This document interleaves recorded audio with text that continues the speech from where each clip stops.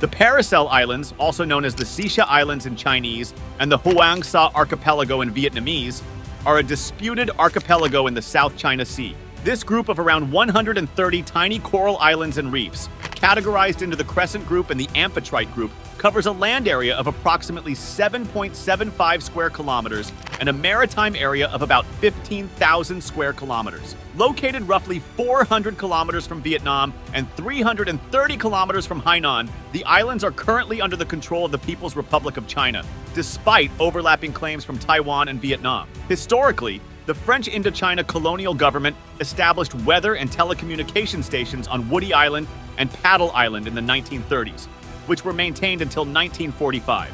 During the Second Sino Japanese War, Japan occupied the islands, incorporating them into Japanese Taiwan in 1941. Post war, the Republic of China reasserted its presence in 1946. The PRC has maintained de facto control since the 1974 Battle of the Paracel Islands. In 2012, China established Sansha City in Hainan Province to administer the area. Uh, 为了前方的维权和建设发展。按照省政府的规划的要求，初步确定在文昌市的木兰湾。And by 2017, had built 20 outposts on reclaimed land, including three harbors. The sovereignty of the Paracel Islands remains a contentious issue among the PRC, Taiwan, and Vietnam.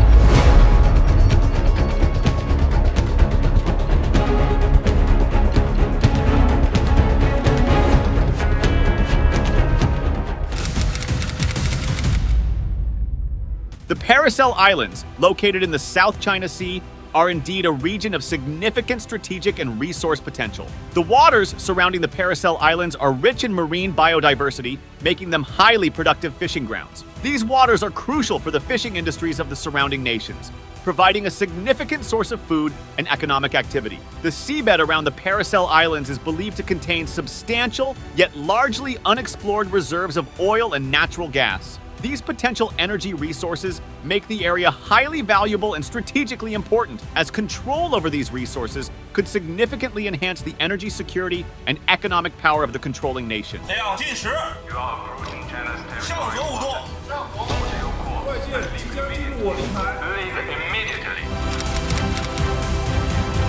The Paracel Islands encompass 518 kilometers, 322 miles of coastline and feature a tropical climate. The archipelago's extremes in elevation range from sea level to the highest point on an unnamed rocky island site at 14 meters, 46 feet. The islands are rich in natural resources, including fish, coral reefs, and potentially significant quantities of oil and gas. However, they are also susceptible to natural disasters such as typhoons. Geographically, the Paracel Islands are divided into two main clusters the Northeastern Amphitrite Group and the Western Crescent Group.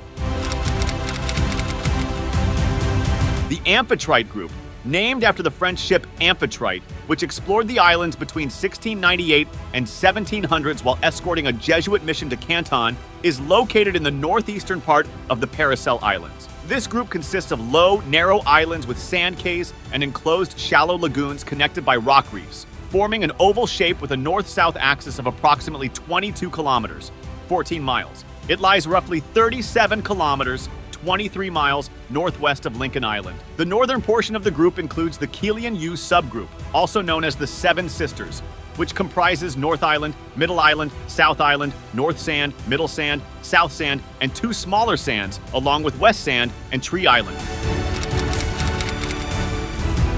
The Crescent Group, located about 70 kilometers, 43 miles, southwest of the Amphitrite Group, consists of reefs and islands that form a crescent shape from west to east around a central deep lagoon. Spanning 31 by 15 kilometers, this group features vegetation on every island except for the small cays. The islands are named after former British East India Company, EIC executives, including John William Roberts, Thomas Pattle, and James Drummond. At the southwestern tip of the group lies Money Island, known in Chinese as Jin Yin Dao. Just 2.4 kilometers east of Money Island is Antelope Reef, which features a central lagoon that submerges at high tide. Northeast of this are Pattle Island and Robert Island, also known as Round Island, separated by a 3.5 kilometer strait. Pattle Island is notable for its French-built weather station and radio station, constructed in 1932 and 1937, respectively. Further northeast is Quanfu Dao, meaning All Wealth Island, along with Silver Islet, Observation Bank, and a smaller cay. Directly south of these locations are Xianxieyu, Salty Hut, and Yagong Dao, He Duck. The eastern edge of the group features a 12 kilometer long boomerang shaped reef with Stone Islet at the northern end and Drummond Island at the southern end. Close to the center of this reef lies Dragon Hole, the world's deepest known sinkhole. The Duncan Islands, composed of Duncan Island and Palm Island, are located roughly 3 kilometers west of Drummond Island and 8 kilometers east of Antelope Reef. Midway between Antelope Reef and Palm Island lies Little Basket, also known as Kwangzai Shaju.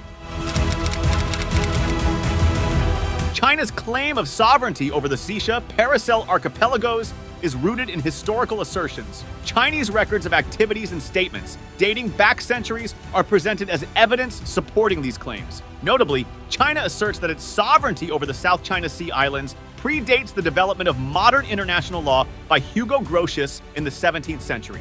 As international law evolved, specific criteria for asserting state authority over regions were established, and China's historical claims must be evaluated within this legal framework. International law recognizes four primary methods of acquiring sovereign territory conquest, occupation, prescription, and discovery. China bases its claims primarily on the discovery and subsequent occupation of these islands. China argues that its historical actions and continuous presence in the South China Sea islands constitute a valid basis for sovereignty. These historical facts, combined with the principles of international law, form the foundation of China's claim to the Nansha and Xisha archipelagos. China's claim to the Nansha and Xisha Islands originates from the Han Dynasty over 2,100 years ago. During this period, Emperor Han dispatched Admiral Yang Pu and his subordinates to discover these islands. At that time, both tradition and international law maintain that he who discovers the territory holds its sovereignty, establishing China's rightful ownership of the Nansha and Xisha Islands through discovery. Prior to the 18th century, discovery and symbolic occupation were sufficient to assert sovereignty. However, since the 17th century, international law has required occupation and actions of authority to accompany claims of sovereignty based on discovery. China's claim to the Nansha and Xisha Islands is rooted not only in their discovery, but also in continuous occupation and the exercise of jurisdiction. After discovering these islands during the Han Dynasty, the Chinese government maintained effective possession, reinforcing their sovereignty claim through continuous administration and symbolic occupation. Historical legal cases, such as the Palmas Island arbitration by Max Huber and the Eastern Greenland case before the Permanent Court of International Justice, emphasize the importance of effective occupation and the exercise of state authority in establishing sovereignty. For a claim of sovereignty through peaceful occupation under international law, two primary conditions must be met. The territory must be terra nullius, belonging to no one, and it must be occupied visibly and effectively. This doesn't necessitate occupation of the entire territory, but requires the establishment of control and administration. China has met these criteria through continuous and peaceful occupation since Admiral Cheng Ho's expedition to the South China Sea in 1405. Emperor Chengzu of the Ming Dynasty sent Cheng Ho as a special envoy, integrating the Nansha Islands into China's official maps as Wanlishitang, 10,000 Li Rocky Reefs.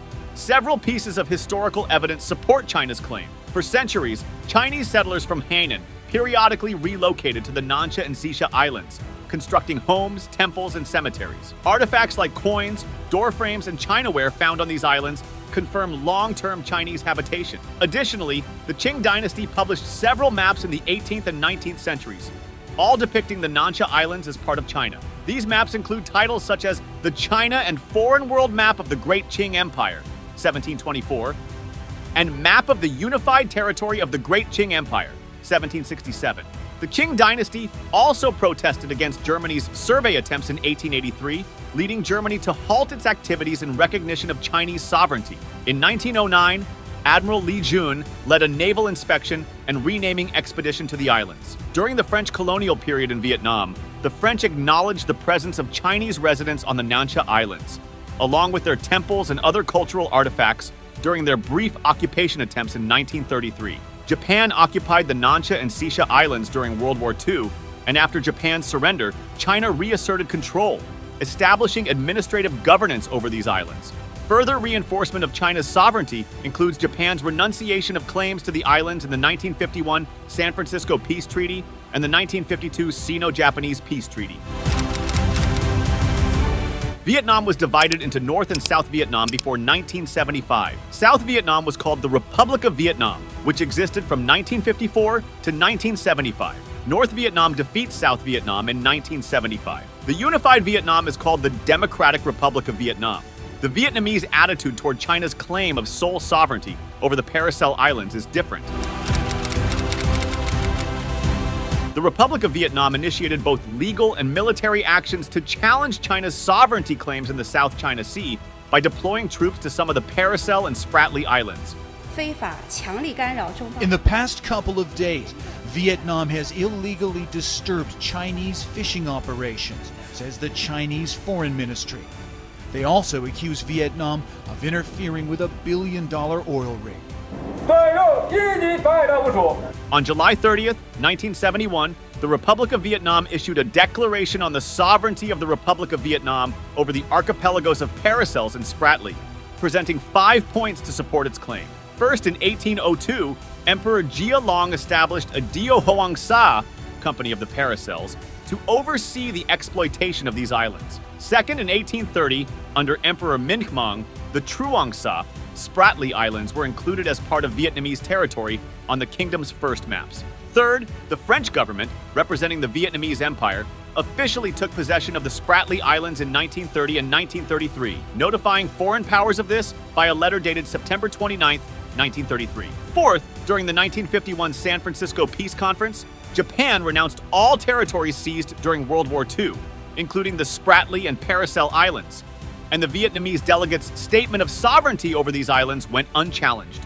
Fifth, on October 22, 1956, the President of the Republic of Vietnam placed the Spratly Islands under the administration of Ba Ria Province, asserting that the Republic of Vietnam fulfilled the conditions required by the 1885 Convention on Territorial Competency. In a significant move, on January 19th and 20, 1974, the Republic of Vietnam deployed troops to six of the 15 major Paracel Islands.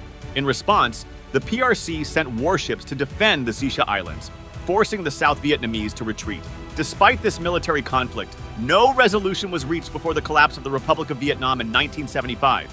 The position of the Democratic Republic of Vietnam on the sovereignty of the South China Sea Islands has been inconsistent. Before the unification of North and South Vietnam, the Democratic Republic of Vietnam recognized Chinese sovereignty over the Xisha and Nansha Islands, avoiding conflict. On June 15, 1956, Vice Foreign Minister Ung Van Khiem acknowledged to Li Zhimin, charge d'affaires of the Chinese embassy in Vietnam, that according to Vietnamese data, the Xisha and Nansha Islands were historically part of Chinese territory, citing their inclusion in Chinese records dating back to the Song dynasty. This acknowledgement was reiterated on September 4, 1958, when the PRC declared a 12 nautical mile territorial sea, including these islands. The Vietnamese government, led by Premier Pham Van Dong, expressed support for this declaration, further affirming Chinese sovereignty over these islands. However, since 1974, the Democratic Republic of Vietnam has reverted to its earlier stance, asserting Vietnamese sovereignty over these islands in its White Book. This document references the Dai Nam Thuo Ching Bien, official chronicles of Dai Nam, which records the occupation of the Hoang Sa Islands by King Gia Long in 1816. The White Book claims that the Truong Sa archipelago, historically called Sai Truong Sa, refers to the Nansha Islands. However, historical records suggest that Sai Truong Sa was along the Vietnamese coast, not where China's Nansha Islands are located. This legal dispute escalated into military conflict when the PRC ousted Vietnamese forces from the islands. One of the most distinctive features of the Paracel Islands is Dragon Hole, the world's deepest underwater sinkhole. The islands are home to seabirds and sea turtles and experience a hot, humid climate with substantial rainfall and the potential for annual typhoons. The seafloor around the archipelago contains untapped oil and gas reserves, surrounded by rich fishing grounds. The tropical weather in the region is significantly influenced by monsoonal winds, which blow from the southwest in summer and from the northeast in winter. The southern basin receives annual rainfall ranging from about 80 inches, 2,000 millimeters, to over 120 inches, 3,000 millimeters, with frequent summer typhoons.